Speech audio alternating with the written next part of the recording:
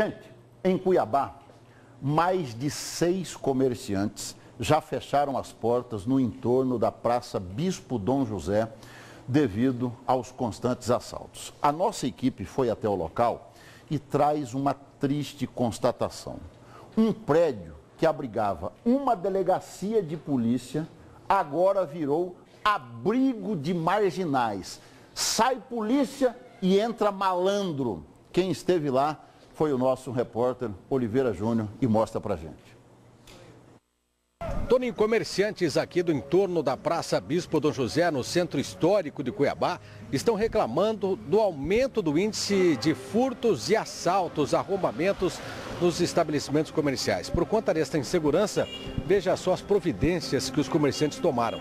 Além de reforçarem a fachada com grades, como essa loja aqui, no telhado foram instalados né, outros dispositivos, como cerca elétrica e arame farpado, para tentar impedir os marginais de entrarem principalmente pelo telhado. São casas muito antigas, feitas de adobe, e o telhado antigo também. Então os bandidos se aproveitam no final de semana, quando o comércio fecha no domingo, e acabam furtando objetos, mercadorias desses estabelecimentos aqui. São vários comerciantes instalados aqui há muito tempo e eles reclamam desta onda de crimes aqui na região. O comércio de 12 anos vai ser fechado, dispensado empregado, porque não há realmente condições.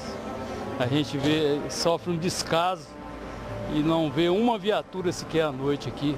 Essa rua é completamente abandonada e essa legião de zumbis aí assalta tudo e todos que passam na rua. Eles é, entraram no estabelecimento do senhor como dos outros apenas nos finais de semana ou eles cometem esses delitos quando a, o comércio está aberto? Qualquer dia de semana, à noite e assalto durante o dia.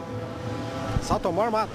A mão armada não, chega, as mulheres que estão atendendo não, não reagem muito e eles acabam é, tomando, apanhando as coisas rápidas na, na frente, fugindo.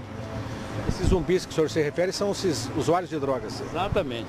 À noite, se vier aqui, tá cheio. Estamos aqui à mercê dos ladrões, hein? Mesmo colocando essa, essa segurança, a gente não tem, não tem tranquilidade, né? Se o governante não olhar, a segurança pública não olhar para a nossa, nossa Praça Bispo aqui, infelizmente está ficando difícil trabalhar. Nós pagamos nossos impostos em dia, tudo está correto e infelizmente estamos sem segurança. Estamos aqui à mercê do, do, dos bandidos, né? Aqui à noite, se passar a noite aqui, vai ver que isso aqui é um coloio. Aqui, o Morro da Luz, aquelas casarão que o governo desapropriou ali. Toninho, estas são imagens de fachadas de estabelecimentos comerciais que já foram fechados aqui no entorno da Praça Bispo Dom José, exatamente por falta de segurança. Uma, duas, três, quatro, só desse lado aqui. E essa aqui é a quinta que vai fechar também. Olha o estado dessa casa aqui abandonada, que virou também ambiente para usuários de drogas. E aqui o prédio onde funcionava a Delegacia de Defesa da Mulher, que apesar de estar com os portões fechados, né, com cadeado aqui, mas os, os usuários de drogas, eles utilizam esse local como abrigo. Estão utilizando um prédio público onde era a delegacia para fazer uso de drogas, com imagens de Valdeir Moraes Oliveira Júnior para o Cadeia Neles.